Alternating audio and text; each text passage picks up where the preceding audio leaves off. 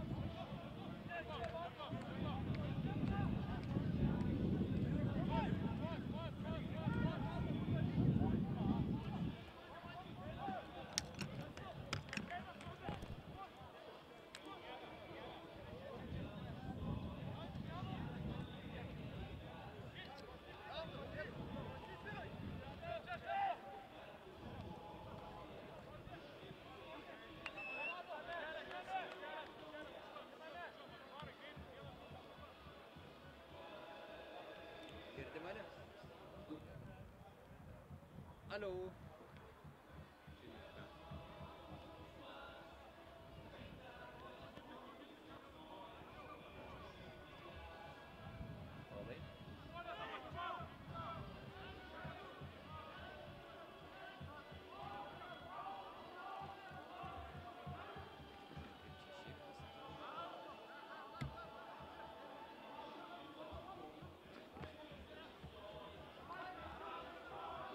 versus Jimmy James.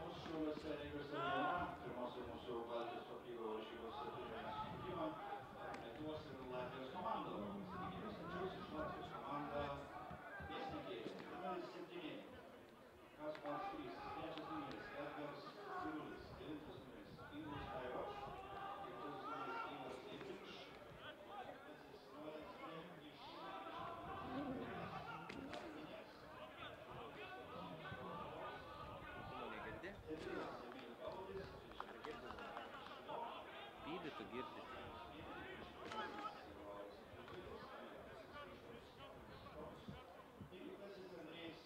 Alio. Girdi? Jo, aš visą laiką girdžiu. Tavęs negirdėjau.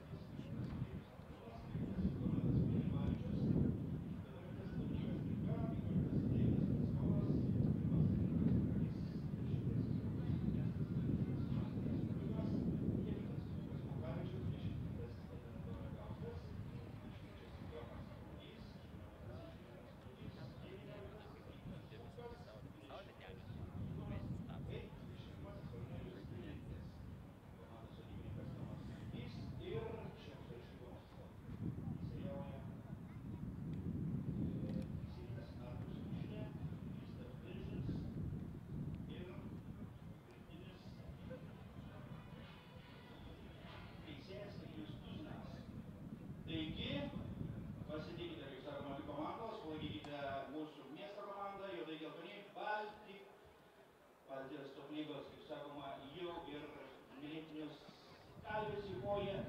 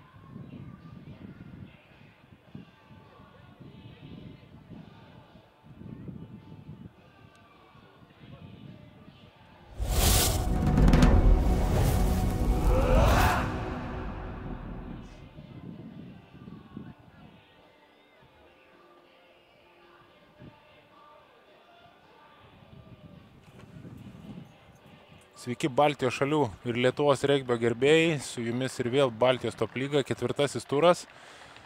Svarbi dvikova, šiaip svarbi diena, išskyrus gal paskutinės rungtynės, kuriuose Baltrek Šiauliai susitiks su Gerkalne Livonija, ten veikiau Šiauliečiai bandys įsitvirtinti ir užsitikrinti pirmąją vietą reguliariajam sezone. O likusios dvi rungtynės yra labai svarbios. Pirmoji dvikova, Vairas Kalvis Jupoja prieš e, e, Rygos ryties Kiekavos Miesnekį.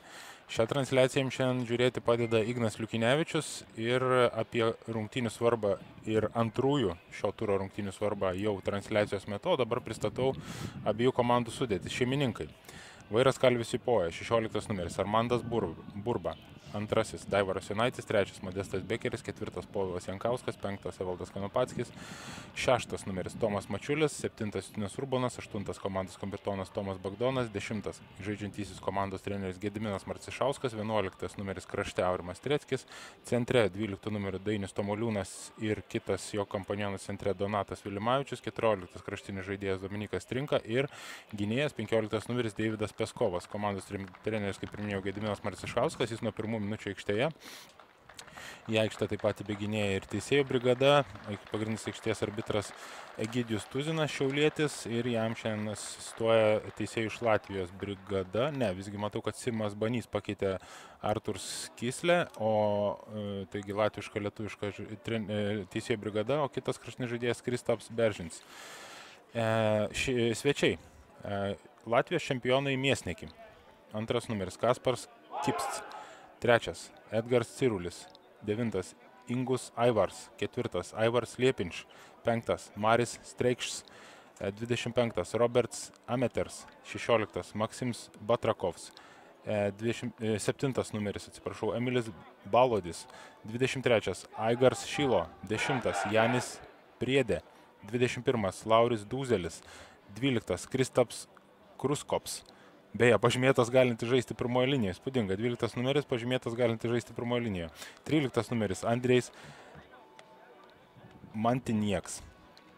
Pirmas, e, taip, ir dar matau pakeitimai, paskutinės minutės pakeitimais e, sudėtyje. Taip, taip, taip, du žaidėjai iškrito, kasgi dar aikštėje, berots 15 numeris Richards Iesalnieks ir 11 Markus Bem, Bemers. Jeigu matysiu rungtinį eigoje, kad suklydau, koreguosiu savo, savo žaidėjų pristatymą. Panašu, kad pakankamai gerai nupasakoju Latvijos, taip stebiu jų atsarginį solelį. 3, 7 atsarginiai. Hmm, tada trūksta man dviejų žaidėjų protokole. Na, tiek to gal. Latvijai labai neįsižeis. Žiūrėdami šią transliaciją, ryškiai matau, kad jeigu pasirodys visi atsarginiai žaidėjai, aš dviejų net nepristatysiu, nes a, šieks toks netitikimas protokole. Na, nieko tokio. Svarbu, kad lietuviai tvarkingai surašė visą savo sudėtį.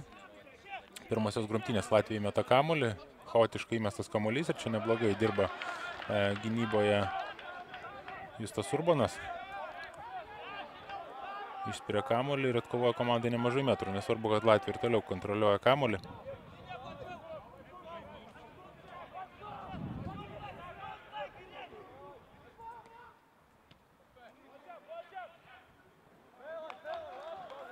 Saugus išsispirimas į užribį. Hmm, matau ir vairo komandoje pakeitimai. Domas Kungys, 23 numeris, na nebent marškinėlį susikeitė krašte, matau Domą. Na gaila, tikrai gaila, kad paskutinė minutė vyksta tie pakeitimai, tikrai nemalonu ir žaidėjim, ir jų draugam ar artimiesiam, kurie žiūri paskui transliacijos kartojimą, aš tikrai visų iš veidų nepažįstu ir gaunasi taip, kad ne visus teisingai pristatau, paskui dar ir sumaišau. Štai kaip neblogai čia Peskovas veržiasi. Vadinama angliškai first receiver vaidmenyje, labai gražiai susitvarko su, su jam skirta užduotimi, bet čia neatsipalaiduoja po įkirtimo. Davidas vėluoja šiek tiek palaikymas, tiksliau nebuvo visai kokybiškas, reikėjo užtikrintesnio nušlavimo ir Latvijai naudojasi progą ir perima kamolį gynyboje. Ir spirs dabar į užribį ir ten bandys pasiimti lengvus metrus ir iš užribį jau tęsti ataką, pozicinę ataką. Na, oi. Na taip, užribis tik labai jau nevykęs.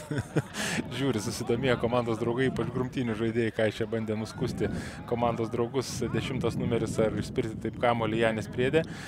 Visko pasitaiko, bet svarbu, kad kamuolys užribi ir ką jį kontroliuoja mm, raudonai vilkinti komanda. Na, praėjusiame turė man asmeniškai šiek tiek netikėtai e, ne pats e, rungtinių baigtis, bet rezultatas. Tai yra tai gan, gana užtikrintai. Šiauliai nugalėjo Miesnikį. Aš tikėjausi, kad šiauliečiai įkas Latviams. E, o Latvija turbūt tikėjosi daug lengvesnio iššūkio iš šiauliečių, bet ten Jonas Mikalčius buvo sužaidė geriausias šio sezono rungtynės, jisai pats turbūt tą supranta puikiai ir šiek tiek kitaip išnaudojo Joną Šiauliai. Ir vienas žaidėjas, kaip pernai Matas Mėžys temdo visą komandą, tai, per, e, tai praėjusią savaitgalį mm, kiekavoje Jonas ištempė, galima sakyti, visą Šiaulių klubą į pergalę. Na, ne tai, kad ištempė, bet e, tiesiog daug geriau išnaudojo Joną atakoje Šiauliečiai ir jisai ten labai lengvai bėgo į tą tarpą tarp 13 ir 14 numerio, tokį keistą derinuką naudoja su atsitraukimu, iš giliau šiek tiek įbėginėja Jonas ir taip e, jam būdavo sukuriama daugiau erdvės, o kai jam atsiranda erdvės, jisai tiesiog vien dėl savo greičio gali pats apibėgti bent du priešininkus, o jeigu mato, kad neapibėgs, e, didelis galingas žmogus, ilgos rankos ir puikiai iškišinėdavo per, perdavimus ir po kontakto. Taigi vienas tas jo derinukas, apie kurį jis kalbėjo ir po rungtynių, atnešė Šiauliams pergalę, kuri man asmeniškai buvo šiek tiek netikėta. Na, o Šiauliai, Šiaulių vairas Kalvis Jupoja išvyko, išvyko Gerkalnė, turėjo daug vargo su e, Gerkalnė Livonė ir tik e, paskutinis pelnytas taškas rungtynėse Donato Vilimavičių šaltinervai išplėšė lygesias e, Baltijos top lygos čempionams Latvijoje. Greitai žaidžia vairas, greitas užrybis, viskas leidžiama, tęsiasi graži kova ant parterio na, gal apie išvyką į Gerkalnę šiek tiek vėliau. Pažiūrėsime, kai, ko baigsis ši ataka. Labai geras užspirimas žeminimas. Graži ataka, tokia, sakyčiau, oportunistiška, bet, bet logiška, nes vairas tiesiog norėjo labiau žaisti. Ši, paskui, pirmasis keturias minutės vairas e, daug, norėjo, labiau mylėjo kamolį, norėjo įvertinti, branginti ir su juo kažką kurti. Ir turbūt tai yra mano sekančios minties tasa. Buvo visiškai priešinga. Tai matau, e, Aurimas Treckis e, bėga su šaldoma koja, taigi jo nėra. Startinė sudėtie vietojo jo 23 Domas Kungys krašte. E, Aurimas ką tik atnešė Donatui Vilimavičiui spirimo per vartus bokštelį. Taigi buvo įvyko priešingas dalykas. Praėjusią savaitgalį Gerkalnėje taip buvo tas mini eksperimentas, vairas leido šiek tiek mažiau patyrusią sudėtį į startą, šiek tiek kopijavo, veikiausiai nujautė, kad pamatė pirmosius du turus, kaip žaidžia Gerkalnė Livonė, o Gerkalnė Livonė žaidžia Razija Erasmus pasaulio čempionų Pietų Afrikos receptūrą. Tai yra pirma leidžia į aikštę silpnesnį 15 ir užbaigė rungtynės stipresniu. Tai vairas tai paskaičiavo ir išleido taip pat šiek tiek mažiau patyrusią sudėtį ir na jiems sunkiai sekėsi tvarkyti su Gerkalne, kurie kaip tik toms rungtynėms ne visai ir laikėsi to savo plano. E, ir visai pajėgi sudėtis ėjo į startą ir pralaiminėjo vairas. Ir ką aš noriu pasakyti, kad štai šios pirmos penkios minutės e, vairo žaidimas yra priešingas. Tai, ką mes matėme Latvijoje, ten vairas nenorėjo žaisti, jiem nesisekė žaisti, ar nebuvo nuotaikos, nežinau, kas ten buvo, bet žaidė tikrai labai prastai ir tos pirmos 35 minutės transliacijos tai buvo, na, tikrai, ne, net sakyčiau, nemalonu žiūrėti, nes e, patys vairiečiai turbūt jautė, kad ta žaidimo kokybė buvo labai prasta, e, o ir Latvija neblizgėjo, taigi ta kokybė buvo prastoka ir tik tada, kai vairas atšviežino savo sudėtį, atsirado ta, tam tikra tikra žaidimo kokybė, o nu, antras kelnys buvo visai įdomus, nes buvo gana didelė intriga, kas laimės, kaip rezultatas keisis ir sviravo tos svarstyklės visą antrą kėlinį. Ir e, latviškai nesuprantu, bet čia toks gal nuklydimas, bet latvių komentatoriaus e, labai, man keista pasirodė, kad jis labai gyrė 15 numerį Latvijos ekipoje, neatsimenu žmogaus vardo pavardės, bet man jis pasirodė vienas blogiausių žaidėjų aikštėje, nes jis absoliučiai nenuspėjamas, veiksmai, bėgimo linijos tokie, žmogus visiškai išsiblaškęs ir e, sunkiai nuspėjami jo veiksmai buvo komandos draugams ir taip jisai užnešė tą žeminimą, kuris buvo labai svarbus, bet tik tiek.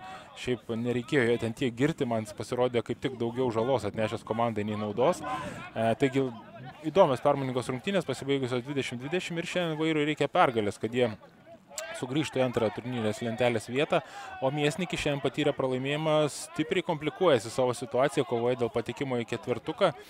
E, ir na, panašu, kad e, pralaimėję šiandien jie, galima sakyti, atsisveikins. Ne, atsisveikins, liks nemaža teorinė viltis jiem. Net ne teorinė, o tokia reali virtimo, kaip čia pasiseka. Pasiseka vairiui, kamuolys atšoka nuo Latvijo ir fiksuojamas turbūt žaidimas į priekį. Taigi labai svarbios rungtynės. Vairas sieks įsitvirtinti antrojoje vietoje, o, o Miesnėki turi siekti pergalės, nes priešingų atveju gali būti prasti popieriai. E, jeigu kalbėsime apie patekimą atkrintamasis rungtynės, varžybas, kurios šiais metais bus trumpas, pusfinalis ir finalas, dvi rungtynės.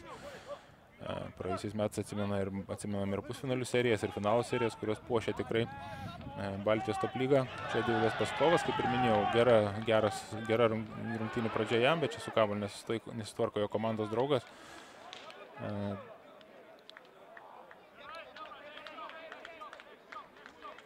Domas Kungys. Gal ir perdomas nebuvo pats kokybiškiausias. Ir grumtynės. Žiūrėsime, kaip grumtynėse tvarkysis Latvijai.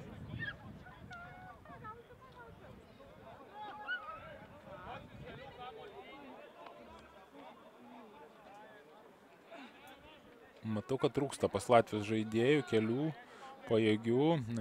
Įdomios priežastis, gal tai, kad e, savaitės viduryje mačiau Latvijos čempionato. E, e, Latvijos čempionato ribose miesnikai žaidė prieš Rygos ežį, o čia Justas Urbanas demonstruoja gerą formą, veržiasi į priekį, iškiša neblogą perdavę Kanopatskį.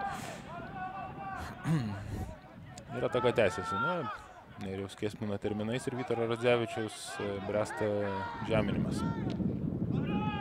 Taškai. Dar vienas žeminimas, dar penki taškai, Dominikas trinka.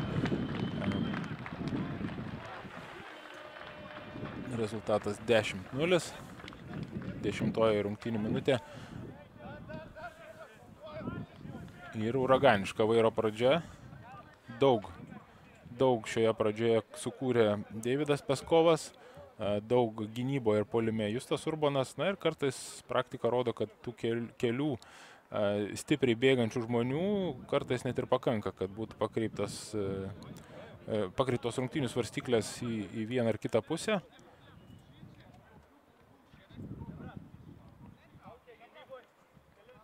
Ne taip, vairas išėjo žaisti šiandien, turbūt gavo nemažai velnių už tą pasirodymą Latvijoje.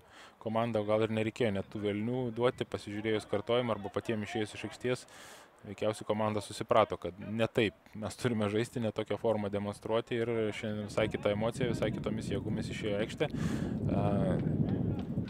Nieko netimant iš Latvijų, iš jų šiandieno, iš šiauliečių priešininko, bet panašu, kad atvažiavo nestipriausias sudėtimi, tikriausiai nukentėjo per tą mačą savaitės viduryje prieš Ežį klubą. Kaip šalia kairio vartų konstrukcijos virp, e, skersinio keliauja kamuolys, antrą kartą Donatui Limačiui, purtais galva, kamuolys kryja gražiai, lengvai toli, bet e, trūksta šiek tiek tikslumo. Rezultatas nesikeičia, 10-0 po 10 minučių, na, jeigu, būtume, jeigu gyventume kokioje nors simulacijoje robotų pasaulio matricoje, tai turbūt e, galima būtų spėti, kad rezultatas rungtynių pabaigoje bus 80-0, bet čia realybė, čia regbis tikrai nebus jis toks kaip minučių laikrodis, nesikeis taip greitai na, bent jau vieną pusę, mėsnikai tikrai yra pajėgų sukurti kažką mm, gražesnio, įdomesnio. Turi jie pajėgių žaidėjų.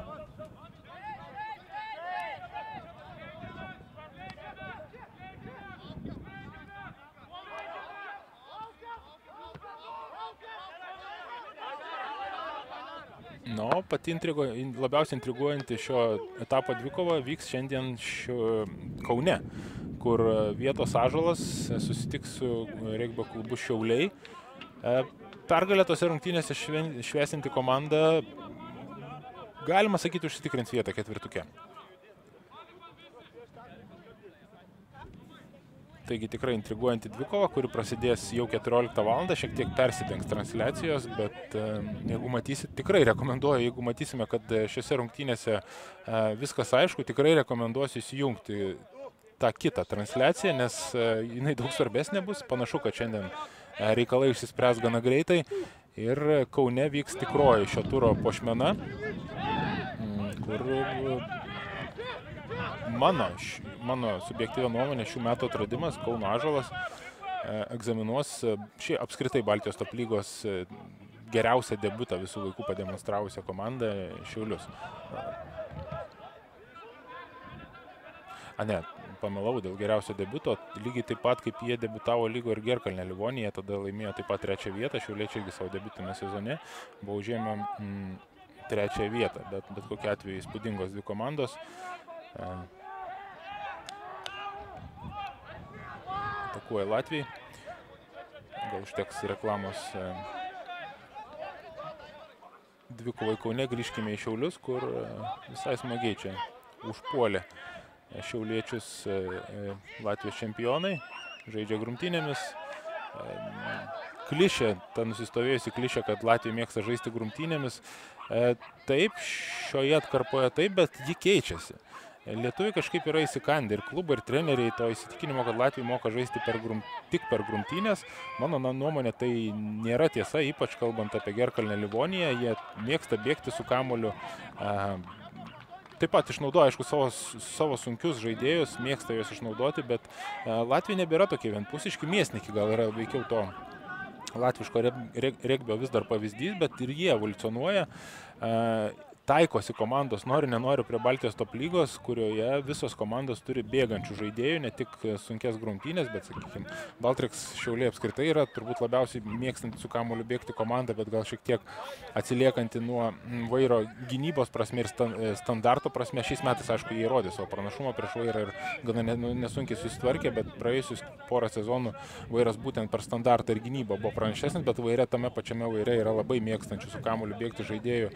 Tas pats e, Donatas Vilimavičius vien ką reiškia, arba iš grumtinių pusės e, Justas Urbanas e, tikrai pajėgų žaidėjai su kamuoliu rankose, taigi e, Latvijos čempionai ir vicečempionai yra priversti taikytis prie Baltijos top lygos ir pas juos atsiranda komandose tų žmonių, taip pat jie tobulėja, išmoka bėgti tas pavojingesnės linijas ir Latvija nebėra tokie vienpusiški.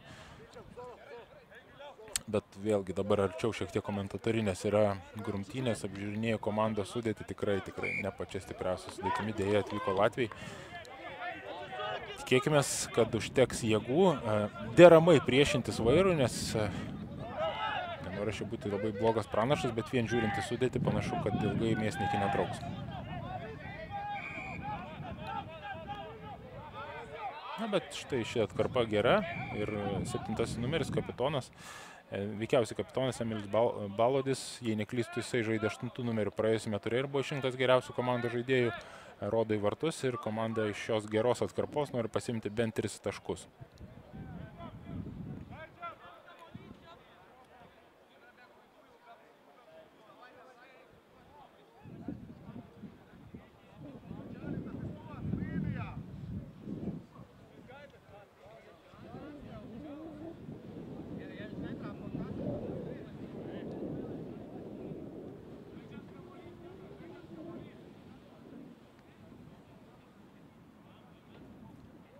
Na taip, žiūriu turnyro lentelę.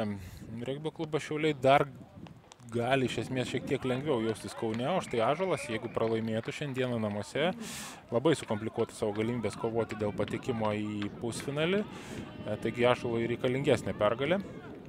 Kaune 3 taškai yra, 10-3, e, rezultatas šiek tiek švelnėja.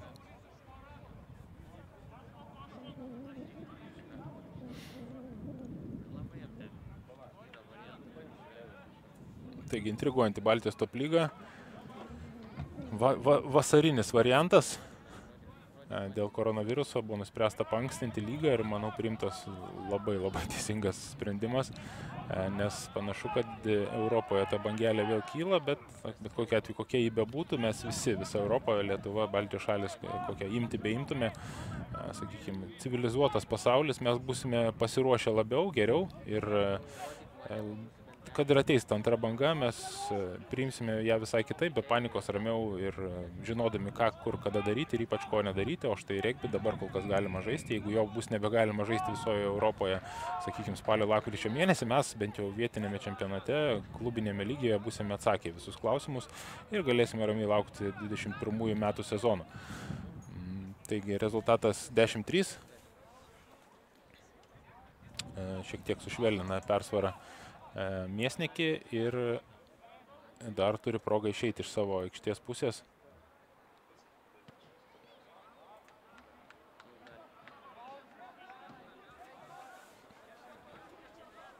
Užribis ir proga miesnikam pakovoti dėl kamulio užribėje. Žiūrėsime, kaip seksis.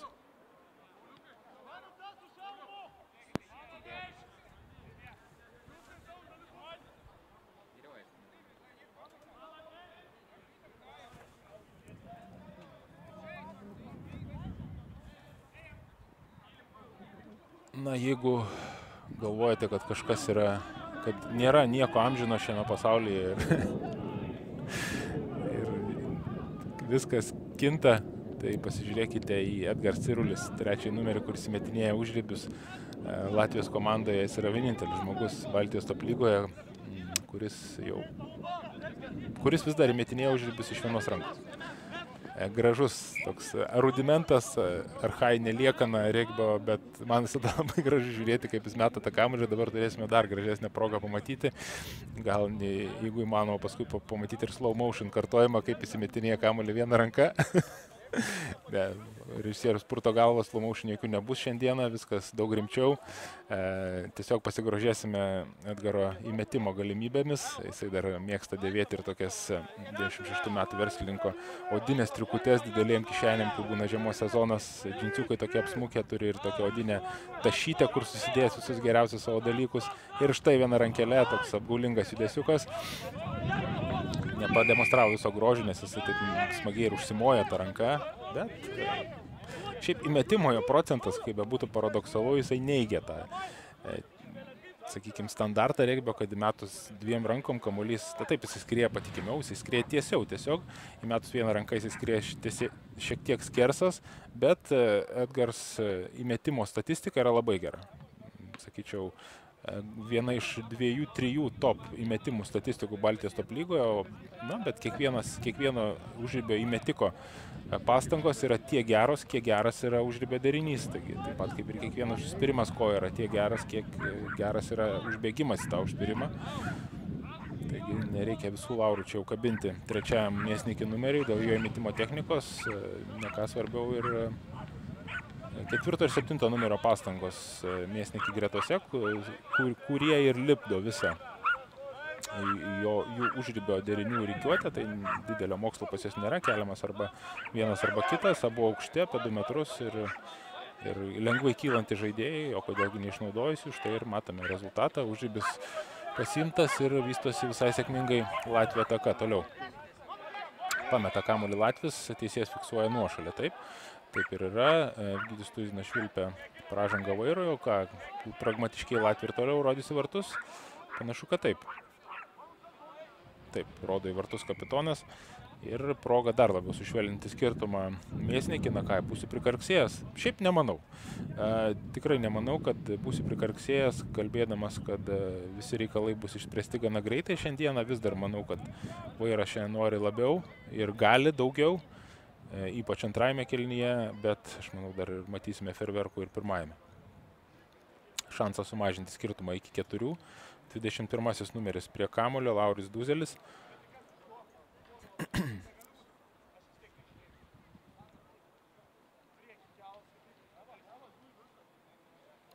Baudos smūgio vertė. 3 taškai, žeminimas 5 taškai, realizacija po žeminimo 2 taškai, taip pat galima pelnyti taškus ir spiriant iš žaidimo, jie atšokusi nuo žemės kamulį, gana retai pasitaikantis elementas, panašu, kad yra, šalia kairio virpsto kamuolys skrieja, 3 taškai, 10-6, priekyje vis dar Bairas Kalvis jų poja. Pagrasino lietus, pagrasino debesiukai ir jie vis dar sukinėjasi aplink šiaulius, tokie pikti, maži, bet pikti debesiukai. Manau, kad gausime dar šiandien lietaus ir šios transliacijos metu, ir vėlyvosios transliacijos iš Šiaulių metu. Tie debesiukai pagal prognozę sukinėsis iki kažkur 7 val. vakaro, o gal ir nupūs jos kažkaip vėjas, bet nenustepsiu, jeigu šiandien pamatysime antroje rungtinių dalyje ir šlapesnį kamolį. Kol kas sausas kamolys abiem komandom dovanoja galimybę kurti visai gražų regbį, ta, ta galimybė labiau do, do, naudojasi vairas, žaidama šiek tiek plačiau, kūrybingiau, na, o mėsnikiai nepamesdami kamulio provokuoja pražangas ir būtent pražangomis renkasi taškus, o čia vairas gana stipriai vėlavo į palaikymą, nepasinaudojo progą perimti kamuolį mėsnikį, gal pusantros, gal netgi dvi sekundės turėjo raudonai vilkinti komandą perimti kamuolį iš vairiečio, niekas nesuskubo to padaryti ir berots Armantas Burba ten suskubo į pagalbą ir apsaugojo kamuolį ir komanda dabar gali tęsti ataką jau per grumtynės, nes teisėjas Egidijus Tuzinas prieš tai žaidė persvarą ir mm, gražina dabar tą persvarą vairų ir žaidžiamas grumtynės.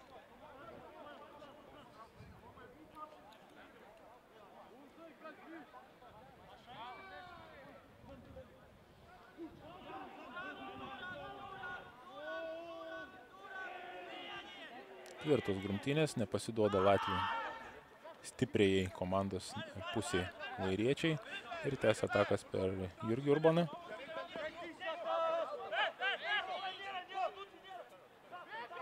Daug, yra du Urbanai, du kungiai, kas dar pas du, du yra, daugiau nieko, po du lik ir nėra vairė.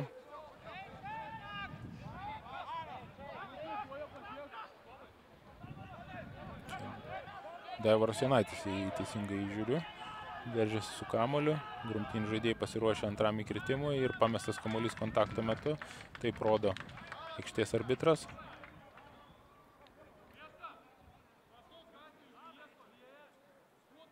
Latvijai kovodami dėl kamulio sužaidžiai priekį. Toks verdiktas, įbėgo su kamuliu vairietis ir paskui kažkurio momentu turbūt mėsnikai bandė perminti kamuolį ir pamušė į priekį.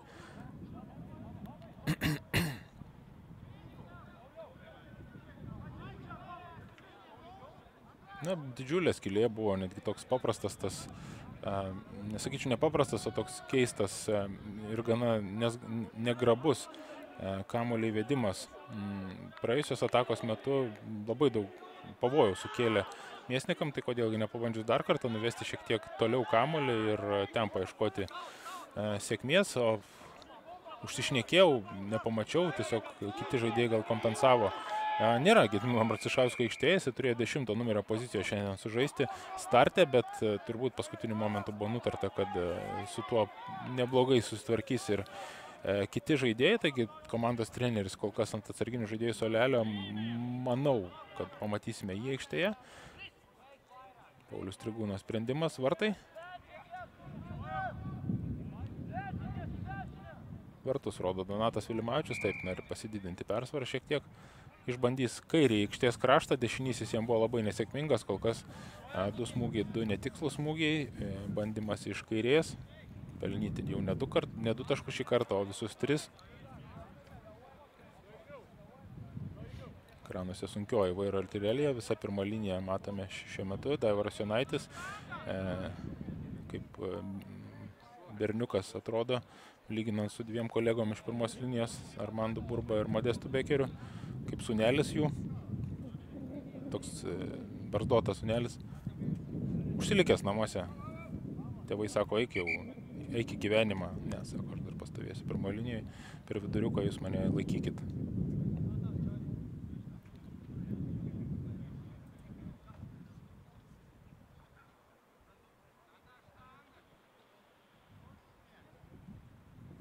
Į startą grįžo Evaldas Konopatskis trūko šiaip jos sezono pradžioje, trūko to tokio paprasčiausios jėgos grumtynėse, nestandartinėse grumtynėse. Yra 3 taškai, 13-6, e, ne, gal ne jėgos, standartinėse grumtynėse trūko veikiau to grubumo atvirame žaidime, tai tą puikiai įneša Evaldas, jisai neblogai kovoja atvirame žaidime dėl kamulio, gynybo yra gana toks brutalus gynėjas, e, gerąją to žodžio prasme, tai manau didelė, didelė paskata vairui, nes pirmosiuose turuose, na pats tikriausiai supranta, Lukas Valkavičius šiek tiek netempė kol kas iki e, Evaldo Konopatskio lygio e, ir e, nebuvo jam patys lengviausi turai, bet aišku žaidėjas tobulės ir ilgainiui pasitemps iki komandos draugų lygio.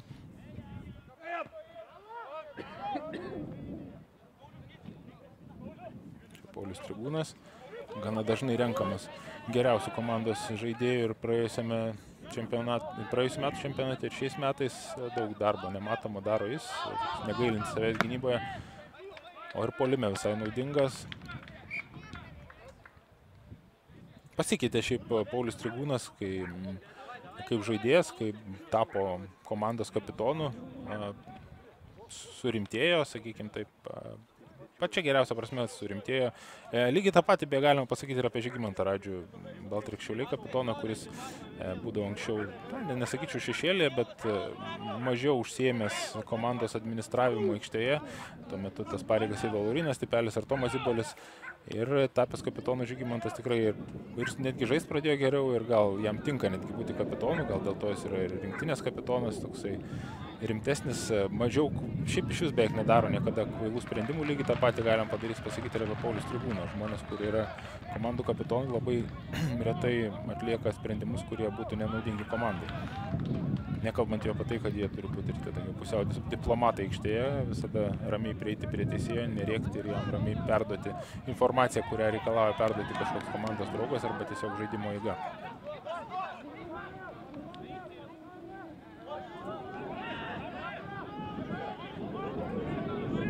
Perima kamuolį Mandas Burba, geras darbas gynyboje. Puikiai susitvarko Vairietis čia gynyboje ir vėl Peskovas kol kas pavojingiausias polime žaidėjas vairo gretose. Modestas Bekeris į kontaktą, pasiema keletą metrų ramiai Tomas Bagdonas, paieško komandos draugų, nusprendžia, kad dar paės per grumtynės ir sprendimas panašu, kad labai teisingas, ten Tomas Mačiulis drapsto priešininkus į kairę ir į dešinę, Daivaras Jonaitis nepermetamas, Justas Urbanas pats kontaktą dar iškiša kamolį e, Modestui Bekeriui savo bendra klubiui dar Jurbarko laikų. Iš Jurbarko laikų, o čia Dainis Tomoliūnas neblogai stovi ant kojų, veržėsi aukštas grebimas, šiaip galima fiksuoti pražangą, nesvarbu, kad žaidėjas neužgriebtas, bet labai gan stipriai buvo čiupinėjimas už galvos, bet to neprireikė, Evaldas Konopatskis žeminimas. Labai bloga Latvių gynyba vienas prieš vieną, ką galiu pasakyti visi tie grumtinių žaidėjų kirtimai buvo per aukštas gaudimas, taip, vairas ėjo su didelė jėga, bet jie taip pat ėjo gana aukštai, siekdami iškišinėti kamuolius, bet Latvijai tai visiškai e, neatsižvelgė e, ir e, gaudė labai aukštai, nepatikimai, o paskutinis momentas, kai e, Dainis Tamoliūnas čia veržėsi iš viso, a, tikrai prastos gynybos pavyzdys. E, trysia, keturiese jį ten čiupinėjo, glamonėjo, o užgrebimo nei vieno taip ir nebuvo. Taigi 18-6 rezultatas didėja.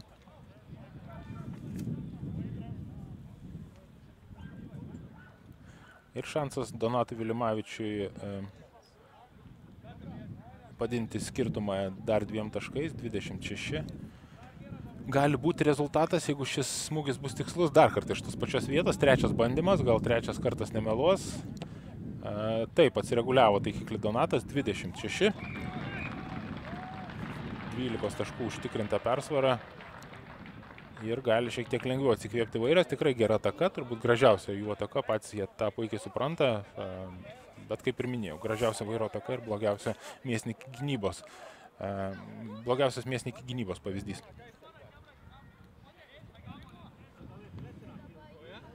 Na, kūno kalba mėsnikį patys matot, nekokia. Pečiai nuleisti, nosis nukabintos, o laiko dar labai daug. Dar 50 minučių kovos. Taigi nosį tikrai nereikia nukabinti, jau ką, bet pakovoti bent jau dėl žaidimo kokybės, dėl mm, žeminimų kažkokių, dėl bet ko. Čia juk reikia aikštelė. E, tikrai galima. Fiksuoja pražangą arbitras Latvijoms. Portugalo komandos kapitonas nelabai sutinka su tokiu sprendimu, nors jisai tikrai teisingas. Ir Donato Vilmačių galimybė išeiti iš savo aikštės pusės ir sužaisti jau uždėbį tiesiai prieš, prieš mūsų kameras. Oi, ne visai tiesiai prieš mūsų kameras, surizikavo čia Donatas, spiria kamolį gana toli. Ir matysime užribio įmetimą. Tuo tarpu, kai virš stadiono įsitvirtina ne tik e, vairo pergalės nuojauta, bet ir pilkas ir popiktis debesiukas. Žiūrėsime, kaip čia bus su tuo lietučiu.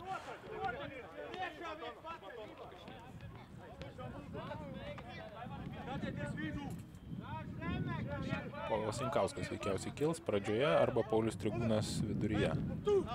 Paulius Trigūnas trečiajame lifte kyla, net ne viduryje ir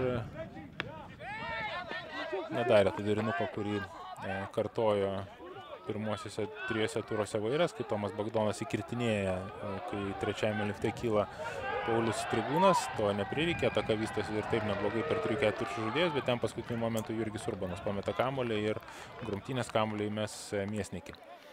Ir turės atlaikyti vairo spaudimą, e, siekdami mm, neprarasti kamolio čia ir sėkmingai išsispirti į užribį.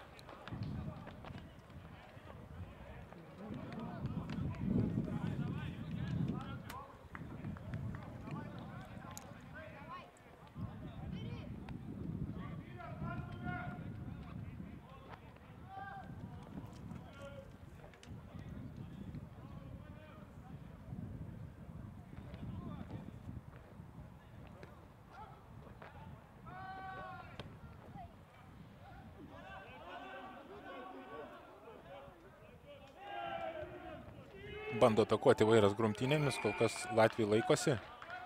Pražanga, pražanga Modestui Bekeriui. Taip, užskersavo pirmą liniją. Na, pirmos linijos žaidėjams gal netgi kartais sunku pamatyti tą savo pražangą. Jie gal, jiems gal atrodo, kad jie stumia tiesiai, bet visų grumtynių perspektyvoje, jeigu, sakykime, vienas e, pirmas arba trečias numeris kairys arba dešinys vadinamieji stulpai grumtynėse susisuka, klubus pastato į išorę, sakykime, į išorę nuo grumtynių, tas stumimas yra visų pirma pavojingas priešininko gynybai, nes susidaro iš dviejų atakuojančios komandos galvų, toks kaip ir pleištas, kuris gali traumuoti sprandą.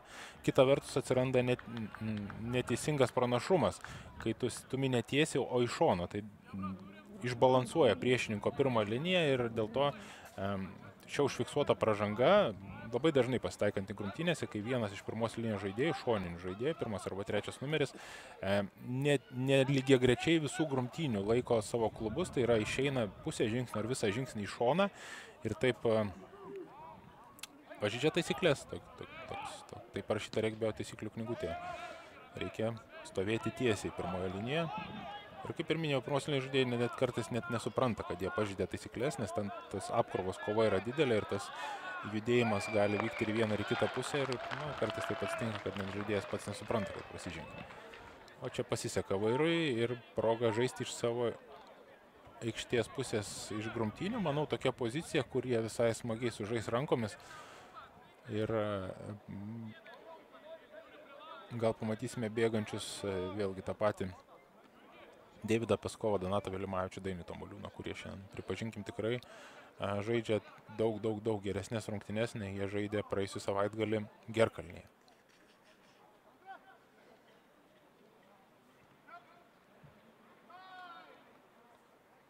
Tomas Bagdonas e, komanduoja savo kariaunai ir stumėsi į priekį grumtynėmis vairas ir fiksuoja pražangą arbitras. E, per anksti atsijungia vienas iš Gerkalnės. Čia galima, mm, man pasirodė, kad kas ten toksai 12 numeris, pečiu stabdė priešininką. Įdomi situacija, teisėjas gal neužfiksavo to momento, tai gražina persvarą, bet ten tas pirmas kontaktas po į Paulius Trigūno, gal jis jau buvo iškišęs kamuolį, nepastebėjau, bet taip ne visai su rankomis gaudė priešininką Latvis. O tiesiog atstatyti petį į atbėgantį priešininką negalima, jeigu tas petys pataiko į kaklą arba galvos rytį, tai yra raudona kortelė. Jeigu tiesiog atsimuša žaidėjas ir nukrenta, tai yra tiesiog pražanga. Šiek tiek drąsiau įbėginėja tas žmogus su pečiu, tai gali būti ir geltona kortelė.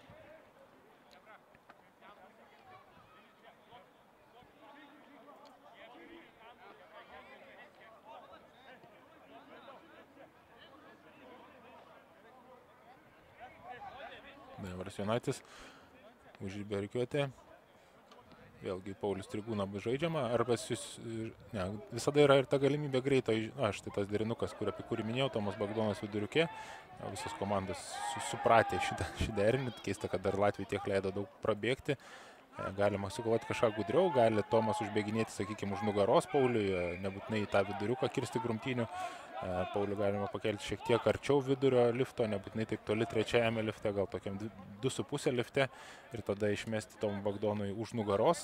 Aišku, pavojingesnis daug perdavimas, e, bet jau, kaip ir minėjau, ir čia reikia variacijų šia, šia, šiame užrybio elemente, nes visos komandos jau turbūt išmokė bus šitą Tomo Bagdonui bėgimą.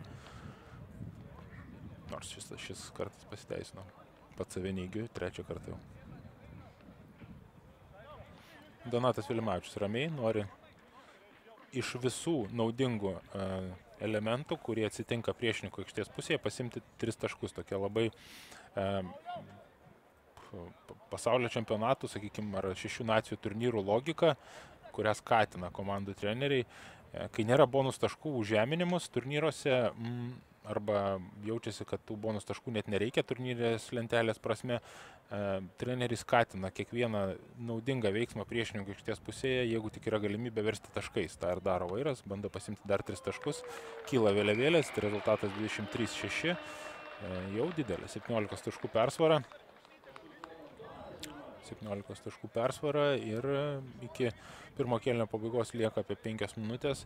Ir turbūt e, prasidėjus antrajam kėliniui, jeigu vairas ir toliau nemažins apsukų, ištikimiausi vairo gerbėjai liks čia arba vis tiek daug, visi žiūrime čia per lrt.lt. Galima lygiai taip pat užsikurti antrą ekraną m, savo nešiojamam kompiuterį, televizoriui arba e, mobiliajame telefone ir žiūrėti antrą transliaciją iš Kauno, kur, kaip ir minėjau, šiandien vyks svarbiausia turo dvikova - Ažalas prieš regbio klubą Šiauliai tiesiai užribį išspiria Latvijai, tokiu atveju skiriamos grumtynės aikštės centre. Svarstom ar keisti šią taisyklę, manau, kad ją reikia keisti, kam tos dar vienos grumtynės.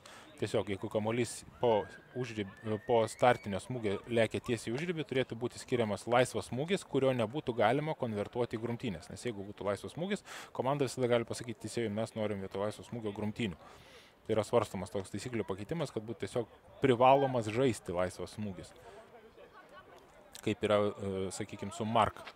E, Mark e, su šūkimu, kai tu pagauni kamuolį iš oro 22 m zonoje, su šunki Mark, priešininkas tavęs nebegali liesti ir skiriamas laisvas smūgis tavo naudai toje vietoje, kur pagavai kamuolį, bet tu, tu, tu privalai žaisti tą kamuolį, negali paprašyti grumtynių. Čia Paulius Trigūnas, kontaktų, oi koks geras perdavimas. Ir čia žaidžia prieki Latvijas. Tikrai, tikrai gražus momentas.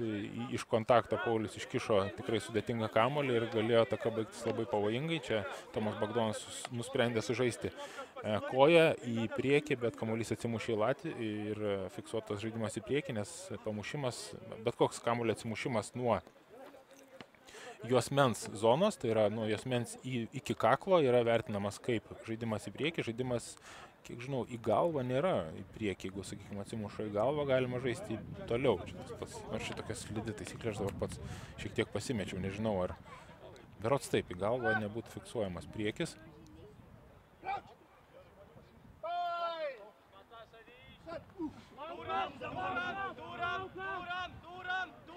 Štai kokia kova, čia jau Modestas Bekeris laikosi tiesiau nebepažydžia taisyklių, Dainis Tamoliūnas pats ne, bandė iškišinėti kamuolį, labai akivaizdžiai rodė, kad jis darys tą perdavimą. Žmogus be kamuolio užgrieptas, Dainis Tamoliūnas pats žaidžia, labai daug ploto atkovoja komanda ir geras užbėgimas, daug ploto, daug energijos, daug noro. Čia Valdas Konopatskis tęsia tą pačią intenciją.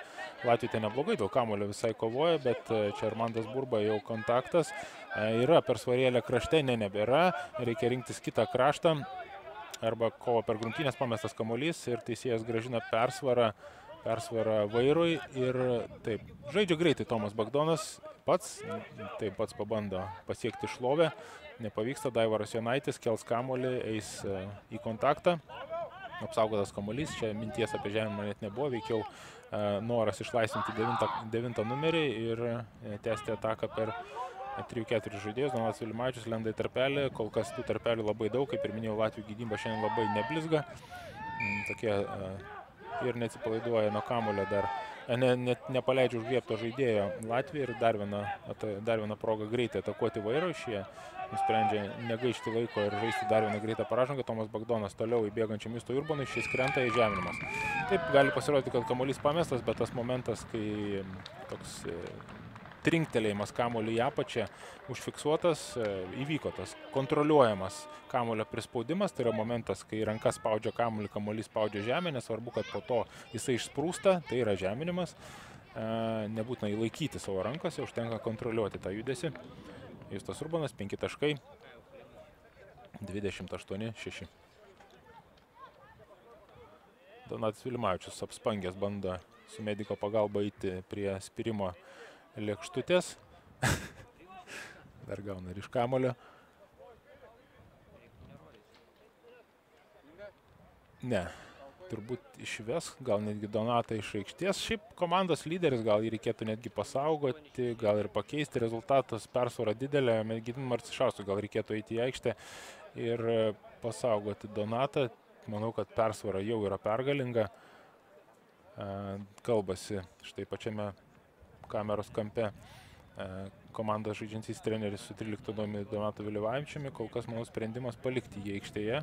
Antras ar trečias jau turas iš eilės, kai jisai gauna tokius smūgius ir sunkiai keliasi tą virusas, kuriuo veikiausiai užsikrėtė nuo Mindaugo Misevičius, kažkas turi nešti tą e, vėliavą komandoje, kai e, netikslus smūgis, kai pastovi kažkam yra užvožiama per galvą ir žaidėjas yra apspangęs ir bando išmasažuoti komandos e, medikas. Taigi pirmas kelnys baigėsi 28-6, daugiau neįtikinamai pergalę šiame kelnyje, kol kas šiame kelnyje švenčia Vairas Kalvis Jupoja. Susitinkame Šiauliuose Žalės Riedolio Regbio akademijos stadione po 10 minučių Baltijos top lyga Vairas Miesnikiai.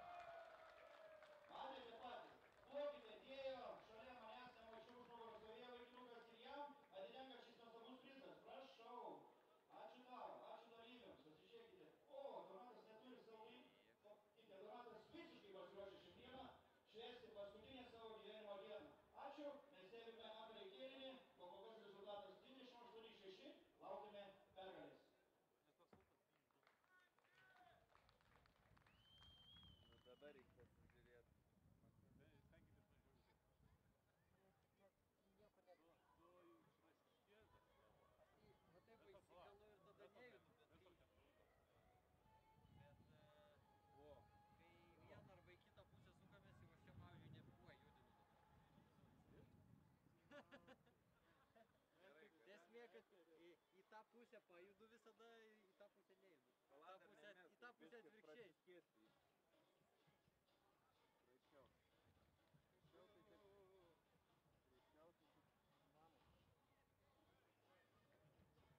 Ne, nu ne, ne greičiau, Tomai.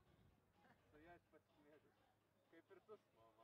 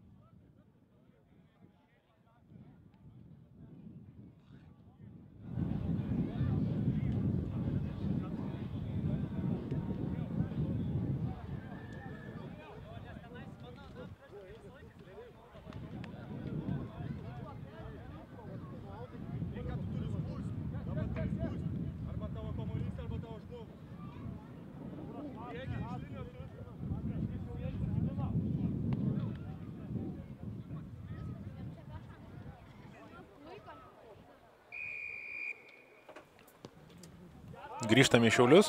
Baltijos top lyga, ketvirtasis turas. Latvijos čempionai Miesniki prieš praėjusiu metu Baltijos top lygos čempionus e, Vaira Kalvijų poja. Po užtikrinto pirmo kėlinio Vairas taip pat užtikrintai eina ir į antrąjį 28-6 rezultatas ir iš karto Latvijų klaida, grumtynės ir puikiai proga pozicinė ataka jau priešininko aikštės pusėje vairiečiams. Rungtynių pertraukos metu vyko žaidimas e, sirgaliams, buvo siūloma perspirti per vartus, iš ties įspūdingą eilutę pademonstravo. E, Šiuo metu traumą besigydantis vairo žaidėjas Mantutas Vilimavičius, e, neįtikėtinas Lakierkos, atsekami, atsekami, atseka, atsegami per šonus treningai. Odinė lemenė ir prie rankos prikabintas dokumentų portfeliukas tikrai labai gražus derinys, nežinau kodėl žmonės taip nevaikšto kiekvieną dieną visada. E, Sveikinimai Antautui. Kokie čia sveikinimai? Bernokaris, e, geras balius, sveikinimai po vestuvių. Ir linkėjimas dažniau išnaudoti mm, mano jau minėtą eilutę. E, Tikrai solidžiai, respektabiliai atrodo žmogus ir tikrai ko- kodėlgi ne. Taigi lietus neapėjo šiaulių, tiesa tie debesiukai, kaip ir minėjau, maži, labai maži, bet pikti. Tiesa dabar prausė abi komandas ir mūsų vargšus operatorius, kurie, matau, ne visai pasiruošę tokiom oro sąlygom, kameros apsaugotos, o kūnai ne visai. Ir bandysime stebėti regbį štai taip. Matote, tikrai stiprus lietus, bet e, kai lietus toks stiprus, visi suprantame, kad ilgai tęstis jis negali vasaros malonumai. e, Ir štai tokia audringa liūtis tikrai nueis gana greitai. Persvarą fiksuoja Gydis Tuzinas, per anksti atsijungė e, vairo trečios linijos žaidėjai iš grumtynio ir specialiai žaidžia į priekį. Latvis ir nori pasimti būtent e, tą persvarą ir spirti kamolį jau ramiau pro vartus. ne pro vartus, o į užrybę, aišku, nusišnekėjau. E, Šios, šios transliacijos metus nusišneka su jumis Ignas Liukinevičius, taigi grįžtame į eterį, į lietingą Gardino gatvės stadioną. Čia Dainis Tamoliūnas, Jurgis Urbanas pabando paieškoti neaišku ko, užribis ir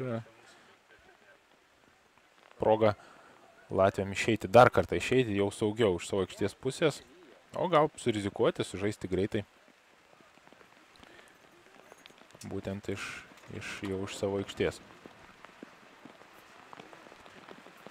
Štai toks tropinis musonas čia mūsų užgriuvo. Lyja iš visų pusių ir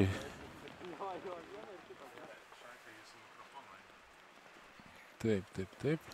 Vis dar žvalgausi. Na, panašu, kad taip, jau praeidinėja tas debesis, ilgai lietus nesitęs. Ir štai šlapės kamolys, Latviam byra jis, du perdavimai, du pamesti kamoliai, persvara vairo, vairas kontroliuoja kamolį, teisėjas leidžia. Iš karto reikia trumpinti perdavimą, teisingai daro vairiečiai, metimas į pilvo, į krūtinės rytį, nebereikia ilgų perdavimų trimis ketvirčiais, jie turi būti daug trumpesni ir Ataka tęsiasi, tolimajame aikštės krašte, lietus nerimsta, o vairas visai neblogai tokiamis oro sąlygomis kontroliuoja kamuolį, Tomas Bagdonas čia iškiša neblogą kamuoliuką koją ir persvarą gražina Egidijus Tuzinas.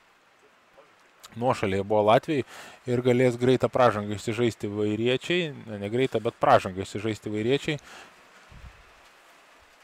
Štai kairiajame aikštės krašte fiksuojama pražanga. Ir koks sprendimas, na, nėra, taigi šlapia, nėra šalta, gal vartus pasimti. E, komandas abecipus, galės pasikepinti saulėje. Aišku, kad ne. Grumtinių žaidėjai, ne, Donas Vilniuočius rodo vartus. Gal, gal persvara didelė tikrai, na, nebent jis norėjo dar labiau padidinti ir kuo greičiau išsikeisti, kad jį sodintų ant suolo ir jisai galėtų ramiai pailsėti. Gal tokia logika persvara tikrai užtikrinta, galima buvo pabandyti sužaisti derinuką užrybėje, pasitreniruoti užrybę reikiuoti ir, sakykime, pastumimą molų ir panašiai. Priešininkas grumtinėse stiprus, tikrai būtų metęs neblogą iššūkį tokie žaidybinė situacija, bet vaira žaidžia pragmatiškai, nerizikuoja, pasiminėja užtikrintą pergalę šiandieną ir bando pasimti užtikrintą pergalę, pergalę šiandieną ir mm, tikėkime. Na, transliacija vyksta lietuvių kalba, tai nieko tokio turbūt, kad šiek tiek šališka, sakau, tikėkime, vairiečiai ir, ir, ir šves šiandien pergalę ir uh, sugrįžti į antrą turnyrės lentelės vietą. Smūgis tikslus.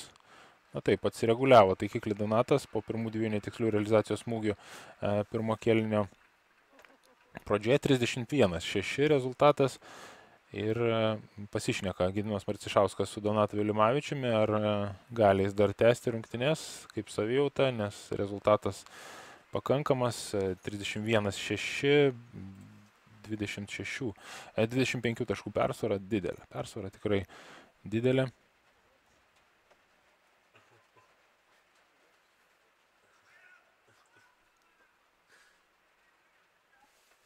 Šlapės kamuolys iškrenta, bet iškrenta atgal. Latvijai kontroliuoja jį, tęsia ataką rankomis. Slidus kamuolys, slidus ir priešininkai gynyboje išslysta. Porą Latvijų vairiečiam išgneuštų, dėl to jie taip gana nesunkiai juda į priekį. Ataka tęsiasi rankomis. Na, patys matote, kokios sąlygos. Bet abi komandos su jomis, sakyčiau, tvarkosi visai neblogai.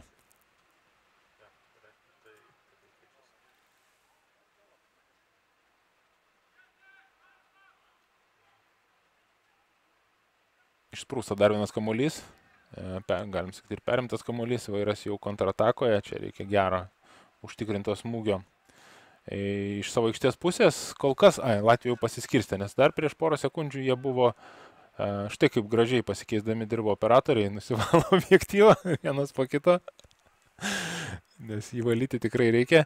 E, kaip ir minėjau, prieš, dar prieš 15 sekundžių Latvija nebuvo net užsiemę tinkamų pozicijų aikštėje, buvo galima žaisti į aikštės centrą, bet paskui Latvija gražiai pasiskleidė ir dabar mm, buvo žaidimas link užrybio, viskas teisingai. Persvarą fiksuoja Egidijus Tuzinas, kritimas ant kamulio, bandymas dėti ranką, ne bandymas, o pirmą buvo padėtos rankos ant žemės ir tik tada buvo bandyta krapštyti kamolys. Reikia žaisti tiesiai kamolį gynyboje, kai kamolys yra po kontakto. nesilaikė šio e, regbio taisyklės vairas kalvis į poją, už tai yra baudžiami. Ir keitimas. Keitimas ir panašu, kad e, šis keitimas signalizuoja ir rimstantį lietų. Pirmasis debesiukas praėjo, orų prognozija rodė, kad dar bent trejata tokių pačių piktų sukinėjasi, bet gal kaip nors jie praeis pro šoną, o antrai transliacijai vakariniai jau panašu, kad lietaus išvengsime. Tie debesiukai nueina apie 6 val. apie 5 val. jų nebesimatys ir matysime sausesnį šiek tiek regbį. Priminsiu, 17 val. čia uh, turnyrės lentelės lyderiai Baltrekščiauliai susigrums su Gerkalne Livonė, kurie šiuo metu yra paskutinė turnyrės lentelės vietoje, bet tikrai nedemonstruoja tokio žaidimo, kuris būtų vertas, sakyčiau, tos paskutinės vietos.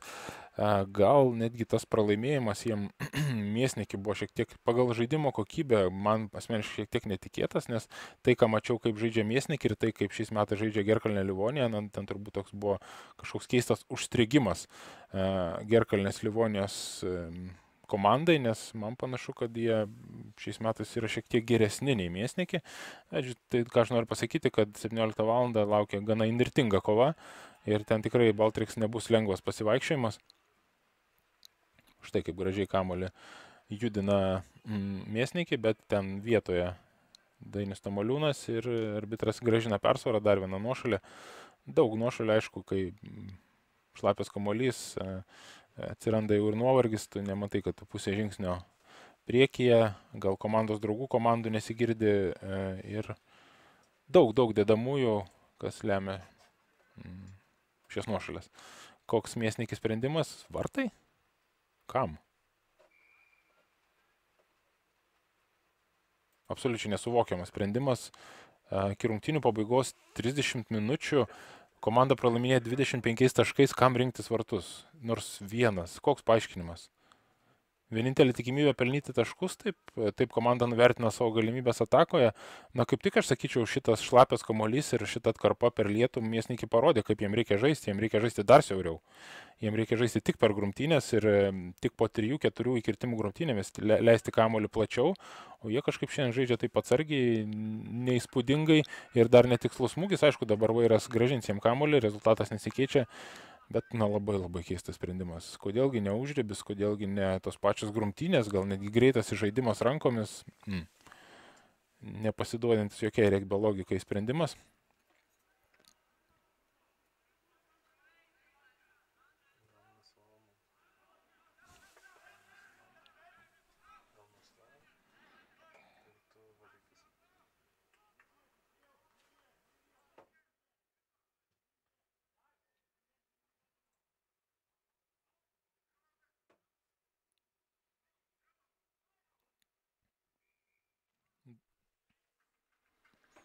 Dar keletas keitimų. Valdas Konopatskis keičiamas. Valkavičius aikštėje.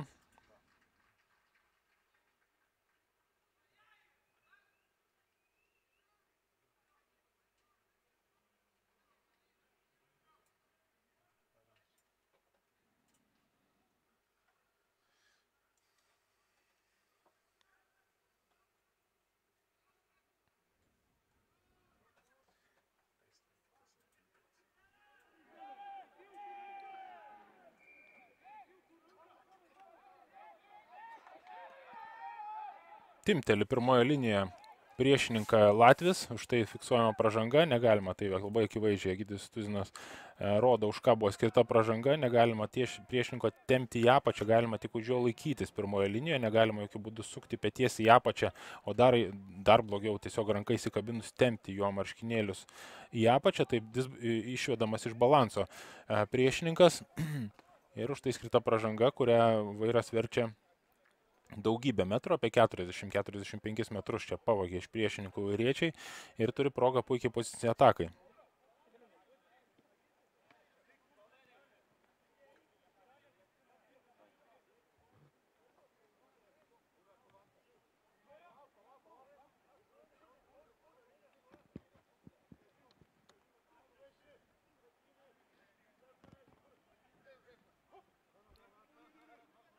Davidas Junaitis. Paulius Trigūnas, Justas Urbonas, pameta kamuolį, šlapokas kamuolys. E, įdomus keistas derinys tuo, kad Justas ir pagavęs kamuolį nebūtų buvęs naudingas jam, jeigu jis čia planavo kažkur kirsti, tai jam jau reikėjo anksčiau bent pusę sekundės pradėti bėgimą.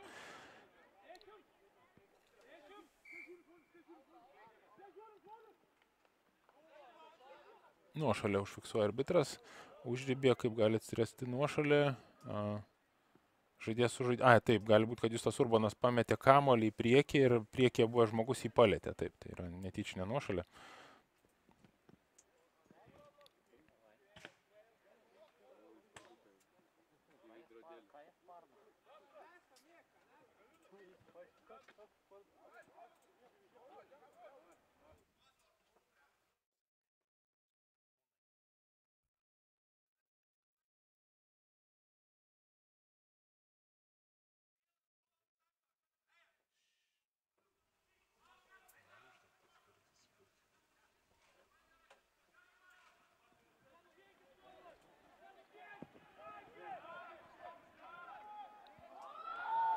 tai toks Justo Urbano reidas.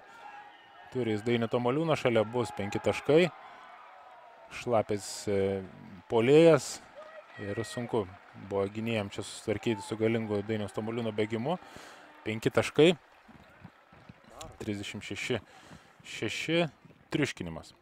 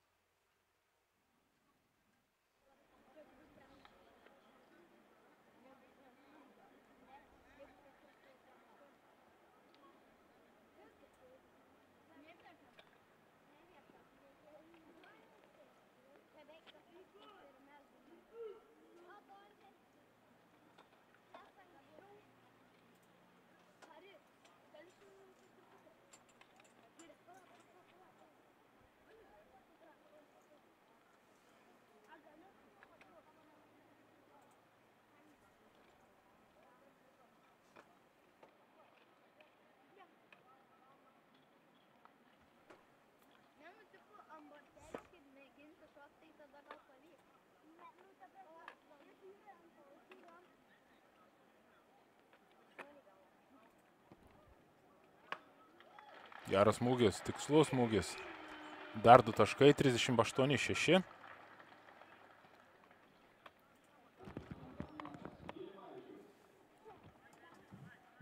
Ir tikslus smūgis simbolizuoja ir lietaus pabaigą.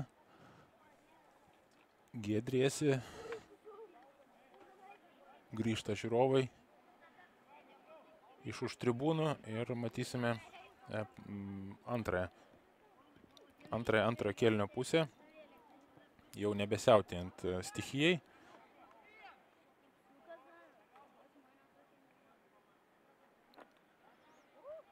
Vis dar man neišeina iš galvos tas Latvijos pirimas per vartus, toks visiškas e, kapituliacinis sprendimas, negalima taip, e, nežinau, žiūri, tai ger, gerbėjai ir, ir kiti kolegos regbininkai iš, iš Latvijos, na, toks labai jau minkštas, minkštas sprendimas buvo pasirinkti tą spirimą per vartus. Gal čia jums pasirodys, kad aš per daug kabinėjusiu prie detalių, bet tikrai buvo toks e, komandos e, psichologiją parodintis arba gal netgi gniuždantis komandos psichologijos sprendimas. Jūs Torboną keičia 18 e, numeris Žilvinas Kungys. Gerą mačą sužaidė Justas. Na, o Kaune Kaune, jeigu nežiūrite kas transliacijos 7-0, po 8 minučių pirmauja Ažolas, Kaune šviečia Saulė. Per LRT LT. Lygiai tokia pat nuoroda, kurią, kurią žiūrite šią transliaciją, labai paprasta korekcija, tiesiog vietoj devynetuko pabaigoje rašykite aštuonetą, tai aštuntas arba tiesiog susiraskite LRT LT transliacijos nuorodą, gal pasirinkit grotažymės Baltijos top lygą arba grotažymės regbės. E, įvairiais būdais galima susirasti šią transliaciją arba Baltijos top lygos Facebook'e puslapyje Baltic Top League arba Lietuvos regbio rinktinės e, puslapyje taip pat yra numesta nuoroda, žodžių variantų žiūrėti. Iš karto dvi transliacijas turite daugybę, galimybės tai leidžia ir mėgaukitės dviejų ekranų regbio. turime didžiulę prabangą, e, nes mes esame pirmieji Europoje, kurie pradėjo žaisti aukšto lygio regbį. Taip, Rusijos lyga startavo šiek tiek anksčiau. Taigi jie kaip ir pirmieji, bet na, jie neturėjo teisę pradėti pas juos pandemija, yra pilnu tempu judanti, bet Rusija yra Rusija. Čia turbūt galima palyginti kažko su Baltarusijos futbolo čempionatu, kuris vyko, nors ir šalyje siautė ir vis dar siautė koronavirusas, COVID-19, lygiai taip pat ir rusai nusprendė kažkodėl anksčiau pradėti savo pirmenybės, nors ten jokių absoliučiai nebuvo variantų, kodėl jos turėtų prasidėti. Na, vienintelis paaiškinimas toks šiek tiek politizuotas, kad prieš tą vadinamą referendumą, kurio buvo nunulintas Putinas, e, o tai nebuvo referendumas, labai keista, kad Lietuvo žiniasklaidos priemonės jį vadino referendumu, tai buvo rusiškai Vsienarodnoje Galasovanėje tautinis balsavimas, kuris neturėjo absoliučiai jokios e, teisinės bazės ir e, sprendimai dėl konstitucijos pakeitimo Rusijoje buvo jau priimti balandžio mėnesį. Ten buvo toks tiesiog e, rusiškais terminais pahazuha vyko.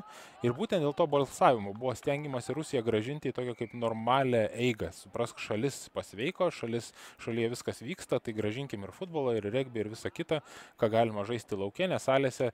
Tai ir rusai grįžo vieną savaitę anksčiau, bet, sakykime, iš tokių civilizuotų valstybių, kuriem, e, kurioms svarbu jų gyventojų sveikata, tai Lietuva buvo pirmoji Europoje, kuris sužaidė iš vis regbio mačą. Tai buvo Vilniaus miesto derbis, kuriame Vilniaus regbio akademija nugalėjo geležinį vilką, o po to aukščiausio lygio regbis, tai yra Baltijos top lyga, taip pat mes buvom pirmieji Europoje, kurį, kurie pradėjome žaisti ir aš turiu įtarimą, kad mes turėsime pirmą Europoje šiais metais regbio finalą.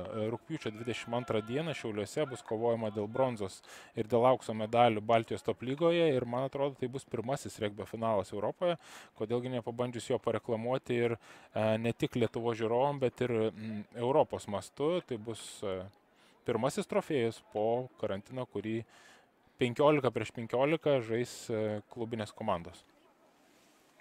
Tuo metu, kai Baltijos top lyga aiškinsis savo čempiono mm, titulo likimą 22 rūpiučio dieną. E, preliminariai tik antrąjį turą žais Anglijos Premiershipas, tai yra tik antrasis turas įvyks. Taigi mes tikrai daug galime patys savo padėkoti ir kad taip puikiai susitvarkėme su pirmąją pandemijos banga ir galime mėgautis, e, grįžtu prie savo pirminės minties, e, aukščiausio lygio regbių per du ekranus. Čia iš Šiaulių ir ten iš Kauno. Šiek tiek toks ilgesnis nuklydimas gavosi, bet ką jau padarysim. Dar keitimai dar šviežina komanda e, vairas, taip pat ir mėsnikį. Jurgis Urbanas išeina iš aikštės e, vietoj jo nedidukas, nepažįstu žaidėjo jaunas, bet turbūt labai drasus žaidėjas.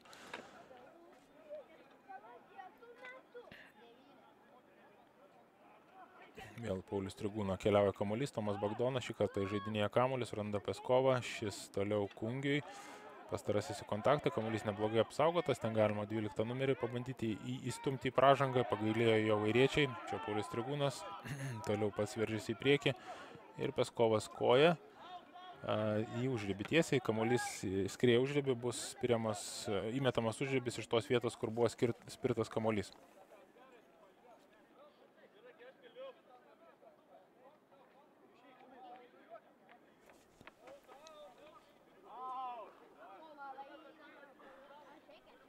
Štai dar kartą proga pasingražėti Edgaras Cirulis metimo techniką. Kamoliukas nuvalomas, patikimai apglėbiamas vieną ranką dešinę. Tikėkime, bus užsimota, užsimota stipriai. Ir štai regbio klasika. Viena ranka, gražu, bet kamolys e, išpildytas, derinys išpildytas, jokių priekaištų. Tiesiog, kaip ir sakau, tai toks sen, senojo regbio rudimentas, kaip Labai retai tenka matyti šį, elementą.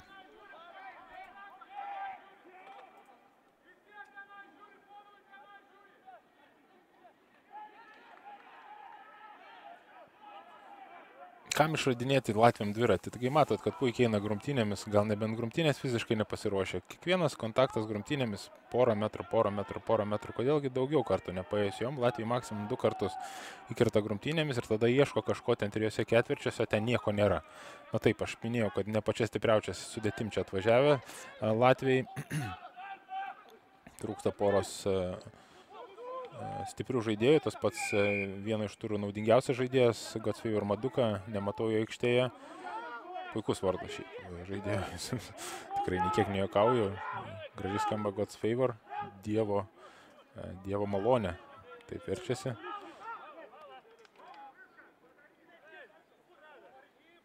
Ir proga Latvijams išsispirti į užribį po pražangos ir čia sukurti kažką pavojingesnio. 38-6 iki rungtinių pabaigos apie 20 minučių, šiek tiek mažiau. Na taip, Latvija jau susitaikė su pralaimėjimu, man atrodo, jie su juo susitaikė, kai rezultatas buvo 10-0 ir tai labai liūdina. Norėtųsi, kad šiek tiek mm, labiau tikėtų savo jėgomis komanda, ne jie jaučia, jeigu sudėti ne pačią stipriausią atvežė ar fiziškai nėra labai gerai pasiruošusi komanda ar panašiai. Tiesiog mm, komandos psichologijai, treniruotėse, besirengiant kitam turui būtų daug svarbiau, jeigu jie kovotų iki paskutinės ir, sakykime, netgi pralaiminėdami rodytų norą žaisti, o šiandien dėja, dėja Latvijai to noro nerodo. Nieko netimkim ir iš vairo. Žaidžia tikrai geras rungtynės, ypač, sakau, turint galvoje, kaip jie prastai sužaidė, ypač pirmą, pirmo kelnio pusę praėjusią savaitgalį Latvijoje. Taigi padarė išvadas vairiečiai ir šiandien atrodo kur kas šviežiau, alkanesni, tiesiog alkanesni, nori žaisti, nori bėgti į kamulį. E, nori kovoti dėl metro ir nori gintis.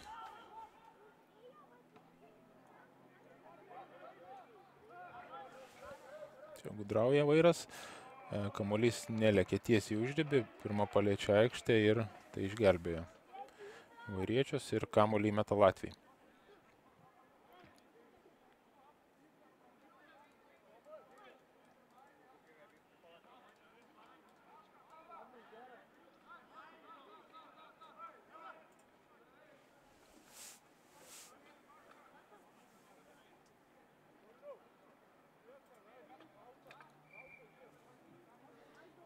Keičiamas ketvirtas numeris Ivars Liepinš. E, ir, ir, antra, ir trečiasis numeris, mano nekartą minėtas Edgars Cirulis. Vietoje jų aikštėje du Latvijų žaidėjai, kaip ir minėjau, gali būti, kad protokolas paskutinė minutė šiek tiek yra keitaliotas, tai gal net um, panašu, kad vietoje Edgars Cirulis 22 numeris pasirodė aikštėje Janis Pekmanis ir dar vienas žaidėjas, kurio nebuvo startinėje sudėtyje pamestas kamuolys ir bus puikiai, puikiai proga vairių čia surenkti pozicinę ataką iš grumtinių.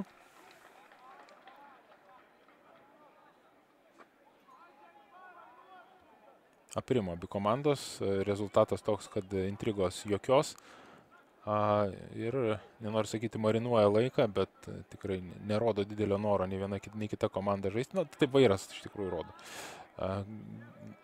Labiau labiau bėga su kamoliu, tas tokia energija, tiesiog agresyvumas šioks toks išlikęs vis dar. E, bet ir kitimų nemažai padaryta, tai tie patys atsarginiai žaidėjai išėję aikštėje, nori kažką įrodyti ir įneša tai šviežumo, labai pagyvino žaidimą Žilinas Kungys e, tuo savo agresyviu, sakykime, įbėgimo į kamolį stiliumi. Polime prasižengia vairas e,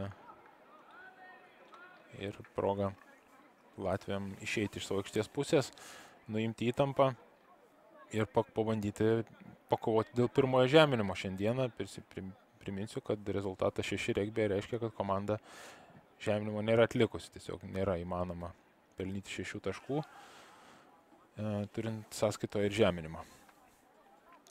Du baudos smūgiai, 6 taškai, o vairas e, tikrai nemažai žeminimų ir tikrai nemažai baudos smūgių. Pragmatiškai žaidė vairiečiai, leido Donatą Vilimavičiui kopti rezultatyviausių žaidėjų sąrašo laipteliais į viršų. E, ten jis turi rimtą priešininką, kurio beje šiandien nėra aikštėje. E, Latvių gretose taip, nematau, nematau.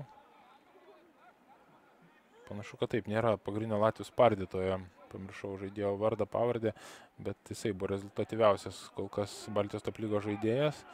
Na ir čia tikrai reikia paminėti Armandą Kalinauską, kuris visada labai nori Baltijos lygiai gretose būti rezultatyviausias turnyro žaidėjas. Turės jis tam progą šiandieną pasirankyti taškelių. Aišku, traukia šį šiek tiek per dantį. Nėra jis kažkoks garbėtraška, bet pats kaltas.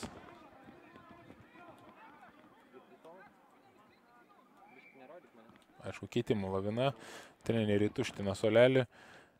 Šeštasis numeris. Geras rungtynės, tikrai labai geras rungtynės sužaidęs Tomas Mačiulis. išeina iš aikštės.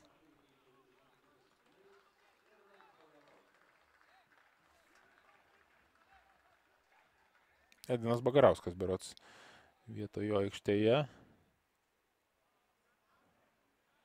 Ir iš karto gynybos reikiuotėje bandys gintis nuo Latvijos atakos, gražus derinukas krumtynėmis. Taip pat nekartą darė šitą jau keliose turuose Latvijai, tai yra nuleidžiamas komandos kapitonas, septynas numeris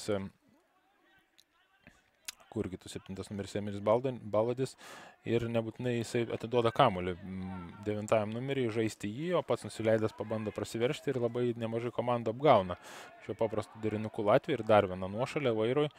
Egidus Tuzinės fiksuoja nuošalę ir dar vieną progą sužaisti į užribį, nesirinkit smūgio per vartus, prašau, nes tai būtų tikrai liūdna baigtis šios atakos. Ne, tiesiog va štai šauniai rankomis žaidžia kapitonas ir e, kūrė progą komandos draugam pelnyti taškus. Ar dar vieną, dar vieną persvarą Latvijam, vėlgi nuošalė vairas, tikrai daug pažangų paskutinės keletą minučių daro vairiečiai.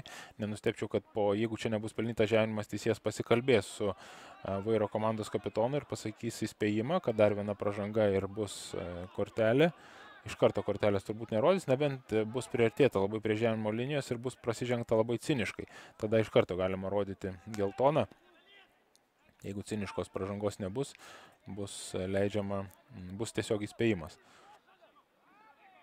Priartėjo visai prie žemimo Latvijai, rytas į žemimo plotę, prispaudimo nėra ir gražina persvarą arbitras Latvijam ir vėlgi kapitonas, nieko negalvodamas pats į kontaktą ir žemimą. Štai šauniai, kova, charakteris pademonstruoti ir iš karto emocijos atsigauna Latvijai. To reikia komandai, nesvarbu, kad pralaimėjimas jau kaip ir aišku patirtas, bet Emilis Balodis rodo, kad galima pakovoti ir mm, įnešti nors kažkokio džiaugsmo komandai, kurio šiandien, pripažinkim, buvo labai labai nedaug. O Kaune persveria rezultatą Šiauliečiai 7-8, priekė jau Šiaulių Šiauliai. O mm, čia Šiauliuose 38-11 kol kas. 38-11 ir proga pridėti dar du taškelius e, Latvijams.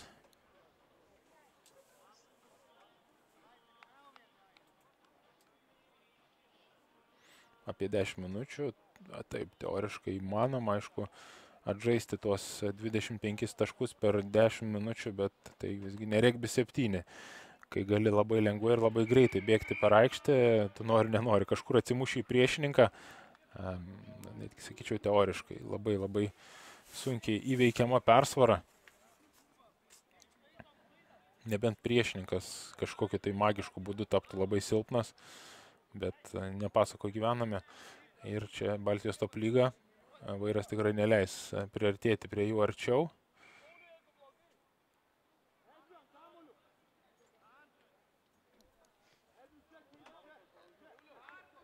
Atliekami keitimai, kuriuo aš jau turbūt net nebesivarginsiu e, minėti.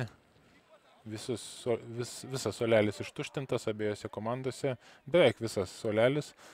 Gydimas Marcišauskas vis dar vairo gretose ant suolo. Nepanašu, kad jisai ruošiasi šiandien eiti į aikštę, o kam, kai komanda ir taip susitvarkė su ją keltomis užduotimis.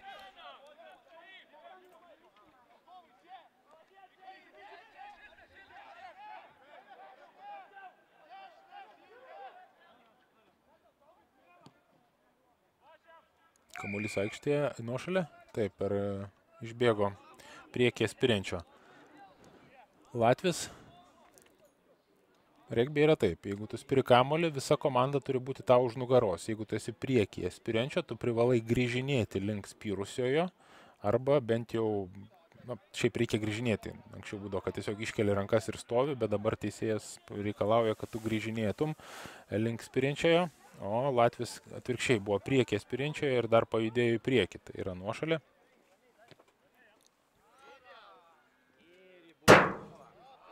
Štai taip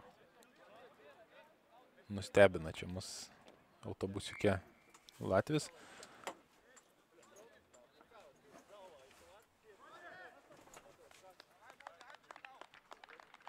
Bumtelį į stogą, o Modesta Becker keičia 20 numeris Rokas Lipnickas. kaip ir minėjau, tuštinamas solelis. E, Latvijai metinėje užribį ir e, trumpas užribis, e, keturi žmonės.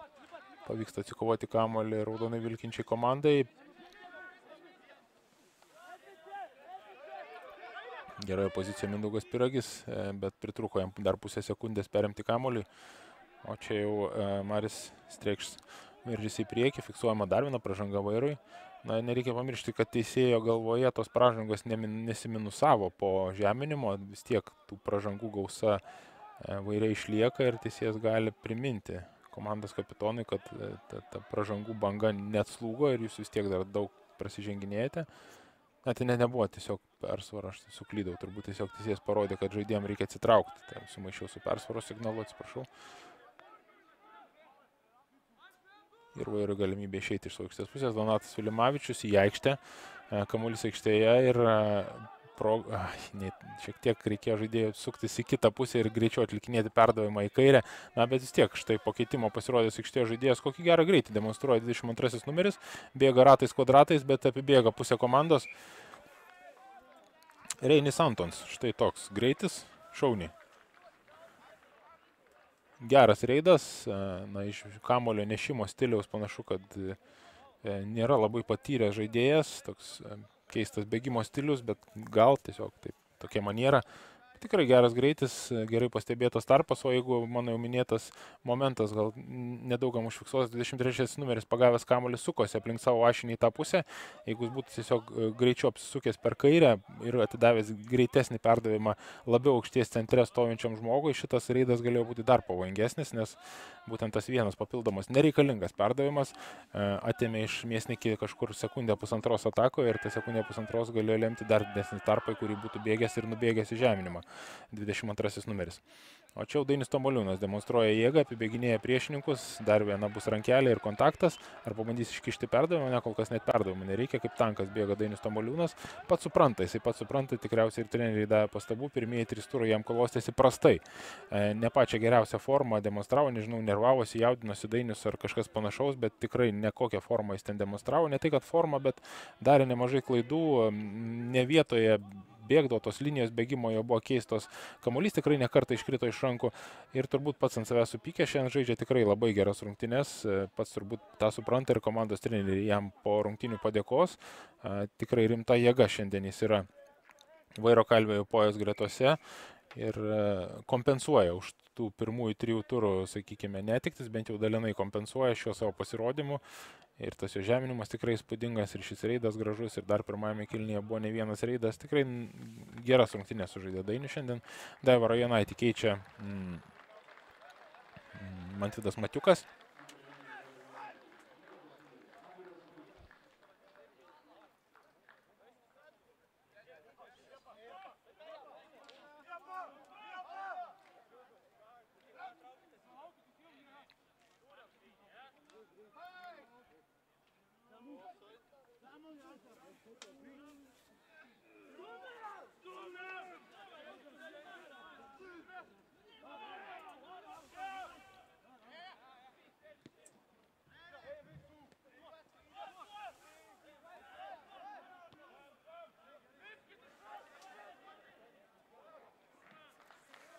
Užribį, Domas Kungys, geras išspirimas, daug ploto čia pasiema vairas. Šiuo užspirimu taip, kamuolys priešininkų bus rankose, bet abejoju, ar jie iš tos pozicijos atakuos rankomis ir manau, kad gražins kamuolys spirimu koja.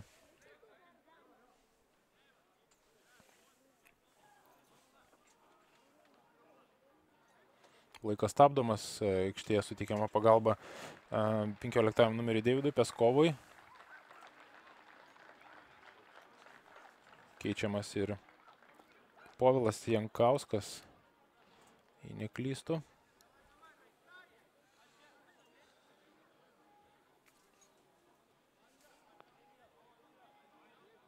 Vietojo Ignažukas.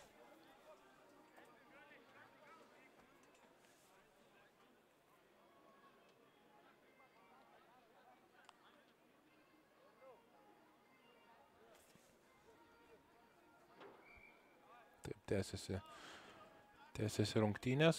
Latvija meta užribį ir turi progą atakuoti, atakuoja rankomis, rizikuoja šiek tiek. E, kol kas rizika nepasiteisina, perimtas kamuolys, Žilinas Kungys ten iš, išlupa iš priešininko ranko, bet prieš tai buvo sužaista į priekį, vairas sužaidė į priekį ir kamuolį grumtinėse mes e, Latvijos čempionai.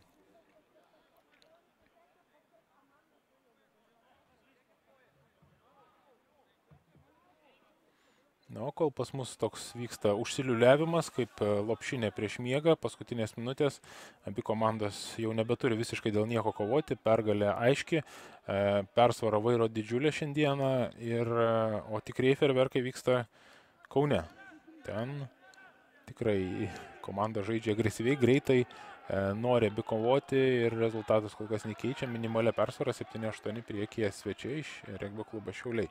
Kaip ir minėjau, Ažalai privaloma šiandien ten namuose iškovoti pergalę, jeigu jie nori uh, išlikti kovoje dėl patekimo į, į top 4 ir į pusfinalį. O čia vairas rengia vieną paskutinį savo atakų, Dainis Tamoliūnas. Suranda Donatą Vilimavičių, šis į kontaktą, išsaugo kamolį. Kamuolys gražiai apdirbtas, bet pražanga valant taip priešininką užgriebtas už kaklo turbūt buvo Latvis, e, nušlavinėjant netgi puolime. Dabar yra saugoma e, žaidėjų sveikata ir liesti kaklo, čiupti už kaklo arba smūgiuoti į kaklą netgi nušlavinėjant žmogų yra draudžiama.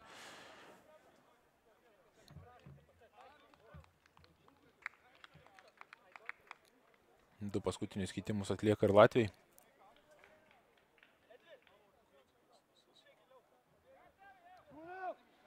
Ir žais jų užribį. Latvijos dešimtasis numeris Janis Priedė.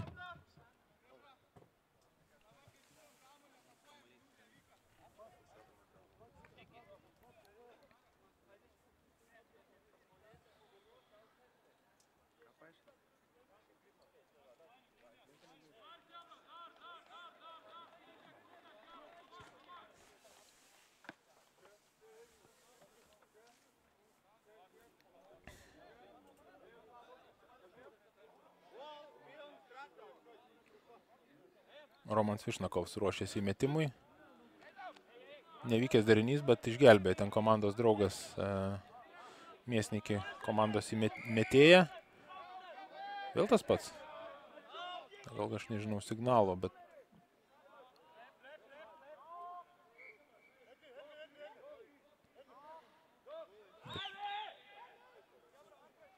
Taip, teisėjo pakeltos dvi rankos signalizuoja, kad tai yra galvos trauma, galima galvos trauma, laikas stabdomas. E, žaidėjas judina kojas, panašu, kad e, vis, nėra tai viskas dramatiška, bet uh, už nugaros gal laikosi, tai viskas stuburo, sakykime, stuburo trauma veikiau yra signalizuojama. Didelėme skausme kol kas panašu Latvijos žaidėjas. Bando išmasažuoti į komandos medikas.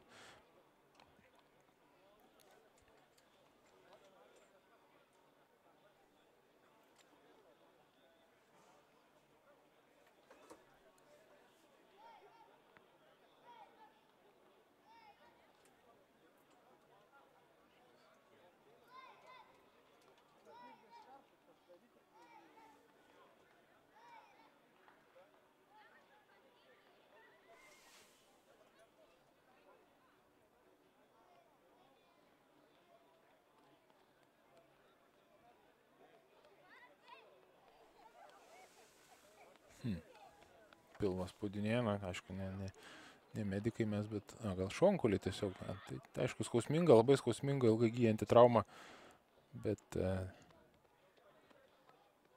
tiesiog labai skauda ir ilgai skauda ir nėra kaip e, gipsuoti šonkulį, tiesiog reikia iškesti tas 3-4 savaitės ar dar daugiau. Mm, visa būtis tampa labai sudėtinga, bet gal lūžio ir nėra šonkaulių, gal, gal tiesiog toks sutrenkimas, tai tikrai skausminga vieta kūno. Na, jeigu lūžis, tai tada tikrai užuojauta. Ilgai remontuojasi tokie dalykai, bet net panašu, kad jisai gal netgi tęsti rungtynės galės, ar ne. 23 numeris komandos įžaidėjas Aigars Šilo, ne, išvedamas iš aikštės ir vietoje jo kažkas veikiausiai jau pasirodė aikštėje. O Latvijai bando užbaigti rungtynės oriai. Išspiria labai gerą kamolį į užrybį ir tiek daug ploto čia pasiema Latvija ir iki rungtynių pabaigos, likus spėčiau, nemačiau teisėjo signalų, gali būti, kad apskritai paskutinė ataka jau. Latvija turi progą labai gerai poziciniai atakai, puikus šansas atakai. Dabar aišku svarbu sužaisti gerai poziciškai užrybėje pasimti kamolį, štai įdinėja užribį Latvių komanda ir vėl bus paieškota to paties kapitono. Veikiausiai taip ir yra, antrajame lifte jis kyla, pasiema kamolį, šiaip netaip ir pats įbėginėja, kaip ir minėjau, ta Latvių, Latvių darinukas kartojasi jau keliose turuose. Ir neranda čia Amerikos Latvijai, pameta kamolį. Žilvinas Kungys purda kaip į tinklą patekęs karosas, O čia Donatas Vilimavičius jau kaip e, e, upėtakis prieš srovę lekia aikštėje. Apsigina Latvijai panašu, Dainis Tomoliūnas ten žaidžia gulėdamas ir dar nuošalėje būdamas, galima švilpti jam pražangą bet teisėjas tiesiog fiksuoja žaidimą į priekį ir e, rungtynių pabaiga 38-13. Štai tokia užtikrinta Vairo Kalvio Jupojos pergalė prieš Latvijos čempionus Miesnikį klubą. Ačiū visiems žiūrėjusiems šią transliaciją. Primenu, kad šiuo metu kaip tik eina į pabaigą pirmasis kelnys lem, svarbiausioje šio turo dvikovoje, kur Kaune Ažolas priima šių regbio klubą Šiauliai. Susiraskite nuorodą, tikrai nesunkiai jums tą pavyks padaryti per mano jau minėtus Facebook'o išteklius arba lrt.lt tiesiog tiesiog e, žiūrėkite regbį. Šiandien su jumis buvo Ignas Liukinevičius. 17 val. taip pat sustinkame e, nemažiau intriguojančiame mače Baltreks Šiauliai, Gerkalnės Livonija. Iki.